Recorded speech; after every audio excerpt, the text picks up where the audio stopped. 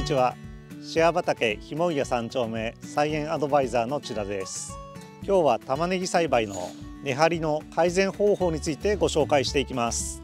関東でも気温が低下してきた頃ですがそろそろ玉ねぎの状況も気になります。寒くなっていくにつれて栽培は休眠状態となっていきますが同時に寒さによって生育も悪くなっていきます。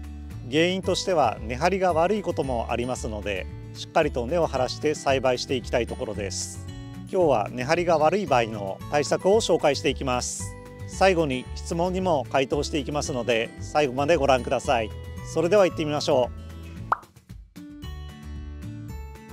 それでは、えー、現在のこちらの畑の玉ねぎの状況をご紹介します。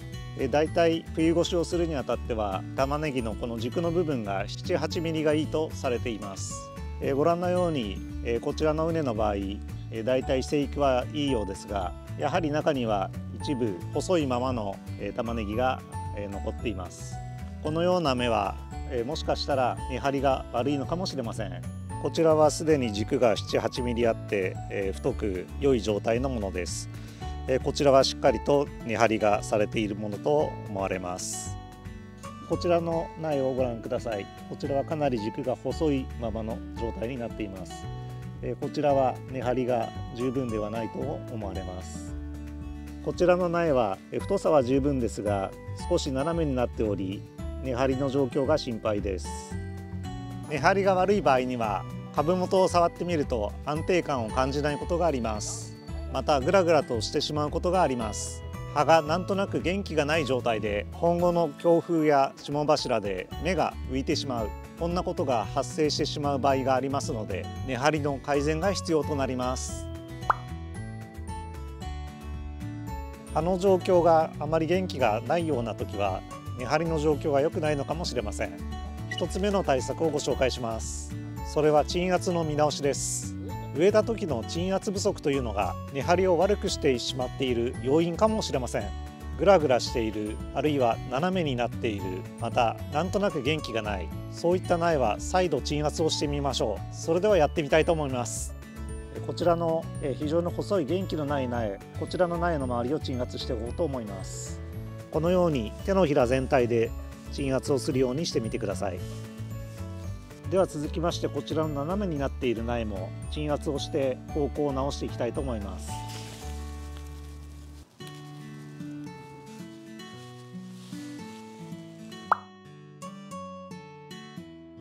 それでは対策の2つ目です。お酢を散布してみるです。過剰にかけすぎますと過失になってしまいますが根の発根を促すために葉や根に200倍に薄めたお酢をかけてみましょう。少し薄めにかけて対策をしておきます。それでは酢水を作ってみたいと思います、えー、まず水 500cc そして、えー、こちらの、まあ、お酢です。一般的な穀物酢、えー、食用の穀物酢となります。こちら、えーと、わずか、えー、2.5cc ほどですのでおおよそキャップに半分ぐらいの量となります。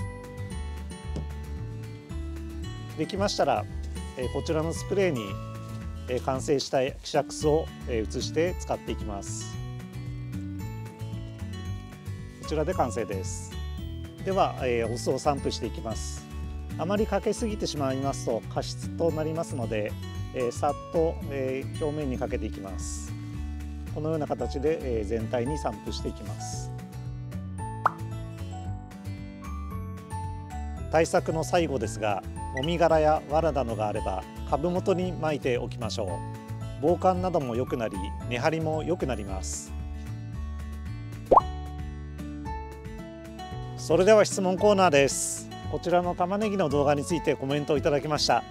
有機化成肥料での追肥はいつやればいいでしょうか？玉ねぎの種類は中奥手です。という質問をいただきました。質問の中の有機化成肥料というのが判断しかねますが有機肥料と化成肥料の違いについて説明をしたいと思います。有機肥料を与える場合は基本的には1回の追肥で結構です。なぜかと言いますと有機質の肥料はゆっくりと時間をかけて効くという特徴があります。もし2回に分けて与える場合には1回あたりの量を少なめに期間を空けて追肥をするようにしてください。続いて化成肥料ですが化成肥料は1月の中旬に追肥。2回目は2月の中旬頃に与えてください。先ほどの話の続きになりますが化成肥料は直接お野菜に吸収されますので効き目が早い分持続性がその分劣ります。え詳しくはこちらの図をご覧ください。化学肥料の場合はアンモニア分が直接お野菜に働きかけますが有機質肥料の場合には一度微生物に分解されてからアンモニアに変化します。その分先ほどお話ししましたように有機質の肥料は時間をかけて分解しその分長く効果が続くことになります。以上のように有機肥料と化成肥料には効き方の違いがありますので先ほどのお話を参考にしながら与えてみてください。今日は玉ねぎの根張りの改善方法についてご紹介しました。この動画が面白かった方はチャンネル登録と高評価をお願いいたします。シェア畑ひもいや3丁目菜園アドバイザーの千田がお送りしました。それではまた。